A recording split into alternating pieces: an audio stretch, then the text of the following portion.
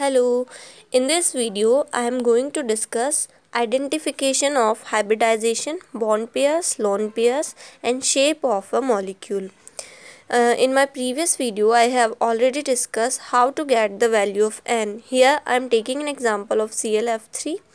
Uh, here the number of valence electron of chlorine is 7 and number of univalent atom attached to chlorine is 3 upon 2 is equals to 10 upon 2 is equals to 5 so we get the value of n is equals to 5 so hybridization will be sp3d as i have already explained uh, here i am explaining how to get the number of lone pair present in a molecule. Um, here n minus number of number of atoms attached to the central atom means n is equals to 5 and number of fluorine is 3 here. So n minus 3 is equals to 5 minus 3 we get lone pairs are 2 okay? Bond pairs are 3 and lone pairs are 2 so shape will be t shape.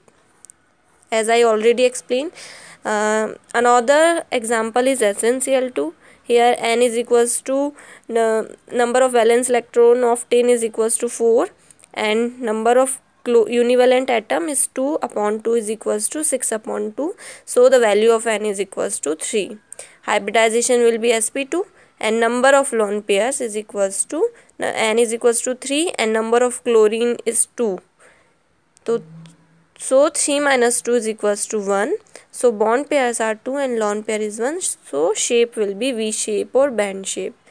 By using this trick we can easily identify number of lone pairs present in any molecule. It is a very good trick to identify number of lone pairs. Thanks for watching. Have a nice day.